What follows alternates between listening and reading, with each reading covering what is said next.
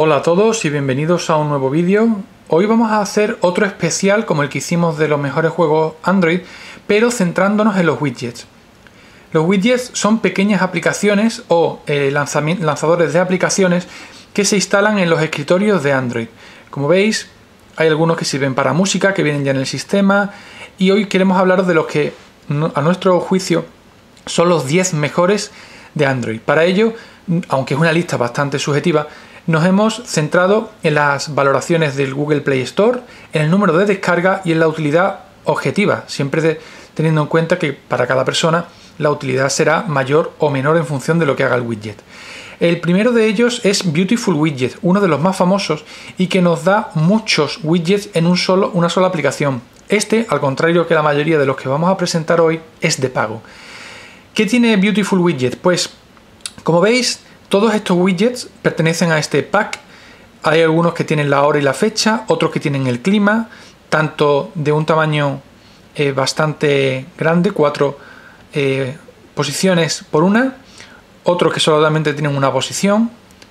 Ambos en el clima cuando pulsamos, pues nos lleva a una eh, pantalla en la que nos da mucha más información y en la que podemos configurar las pieles del reloj, del clima y muchos más aspectos. Es uno de los widgets eh, imprescindibles para Android, a poco que nos guste tenerlo mm, un poquito bonito, la interfaz. Este es otro de los widgets. Por ejemplo, en este caso hemos configurado que eh, si pulsamos en la fecha nos abra el calendario. Si pulsamos en la temperatura nos abra el desplegable. Y si pulsamos en la hora nos abre la alarma. Todo esto es configurable. Como digo, es uno de los de pago, pero merece la pena.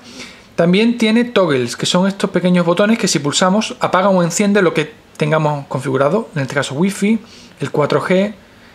Para eliminarlo, al igual que todos los widgets, pues simplemente lo dejamos pulsado y lo arrastramos. El siguiente widget es Shazam. Shazam es una aplicación que nos permite reconocer canciones que están sonando en este momento simplemente con abrirla y darle a la opción de taguear o identificar.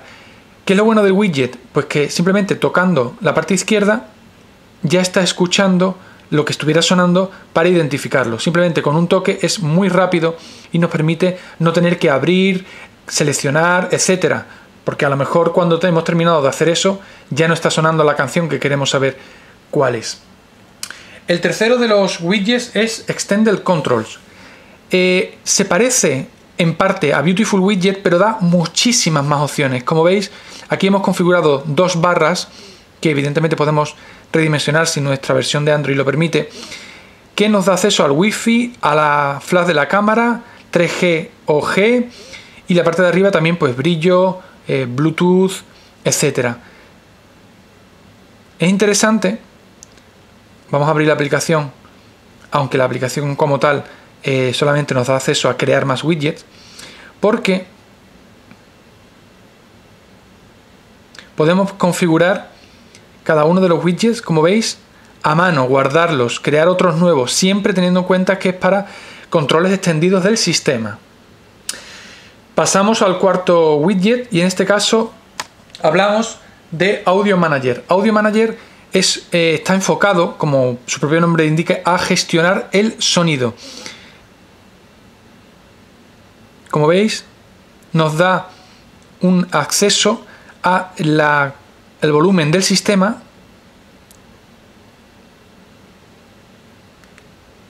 hay una aplicación gratuita y otra que no, como veis.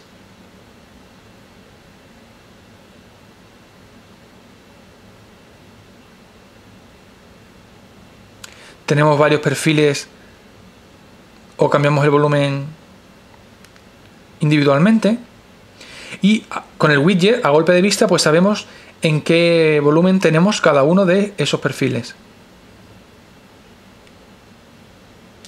La versión de pago, porque esto es gratuita, pues permite guardar preconfiguraciones, como veis. Vamos a pasar al quinto, que es el widget de Evernote. Ojo, esto no es la aplicación, requiere de la aplicación evidentemente, pero se instala de forma independiente, por eso lo hemos traído. En este caso, el widget de Evernote nos permite elegir el tipo de la nota, el estilo y los botones de la barra. Como veis, se puede configurar y en la parte inferior nos va a abrir las últimas notas que hayamos hecho. Si nos gusta Evernote es imprescindible tener este widget también instalado. El sexto es Tiny Flashlight. Es extraordinariamente simple. Pulsamos y se enciende el flash de la cámara. Volvemos a pulsar y ya no. Solamente sirve para eso, pero es muy, muy cómodo. Es verdad que esta función se incluye en otros widgets, como a lo mejor en Extended Controls, pero en este caso es única, es muy simple, muy sencilla y sobre todo es gratuita. Lo siguiente es Battery Solo Widget. El icono, pues básicamente sabéis para lo que vale. Gestión de la batería, a ver qué porcentaje nos queda. Y si pulsamos, pues vemos eh, la información, la temperatura, el voltaje y el historial, un poquito, eh, ahora mismo está corto porque lo acabamos de instalar, eh, reinstalar, y lo que nos dice es en qué se ha gastado la batería, si ha sido en la pantalla o no. El siguiente widget no es como tal, es la única aplicación que no es un widget propiamente, pero sí está relacionada con ellos y es que nos lo permite poner en la, pantalla de bloqueo. Si bloqueamos el móvil y lo desbloqueamos, vemos que la interfaz es eh, propia, es Widget Locker. En ella podemos configurar cada uno de estos sliders para que haga lo que queramos. Podemos quitar o configurar la barra de, de desbloqueo de Ice Cream Sandwich o Jelly Bean o la que sea para que sea esta u otra diferente. Desbloqueamos, abrimos Widget Locker.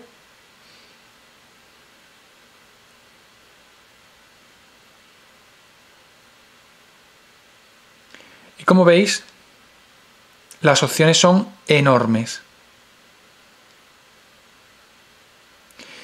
Como os digo, podemos poner widgets, no solo widget sino cualquier tipo de widget, como este del tiempo, la fecha y la hora, en la pantalla de bloqueo. También es de pago.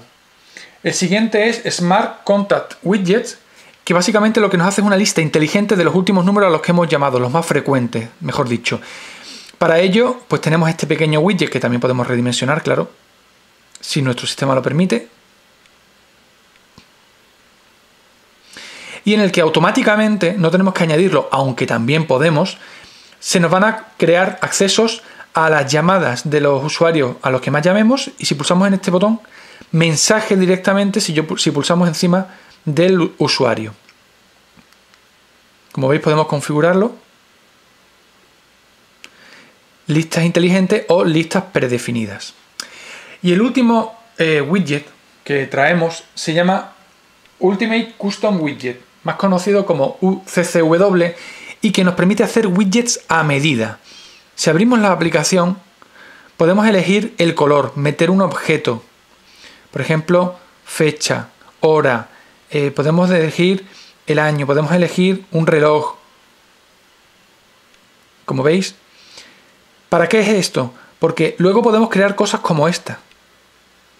Este widget que nos dice la hora, la fecha, el mes, el día de la semana, o este otro que veis aquí, que está incluso girado. Tiene muchísimo potencial, pero también es complicado de usar para hacer estas cosas. Necesitamos tiempo. Lo bueno es que también podemos descargarnos preconfiguraciones, como es en este caso, y solamente tendremos que ir al Google Play Store, elegir la que más nos guste y configurarla desde, desde la aplicación UCCW. Hasta aquí nuestra lista de los mejores widgets de Android. Seguro que nos hemos dejado alguno que a vosotros os resulta interesante y por eso os pedimos que nos lo digáis en los comentarios del blog, en los comentarios del vídeo también si queréis, para que en una próxima recopilación pues lo tengamos en cuenta. Un saludo.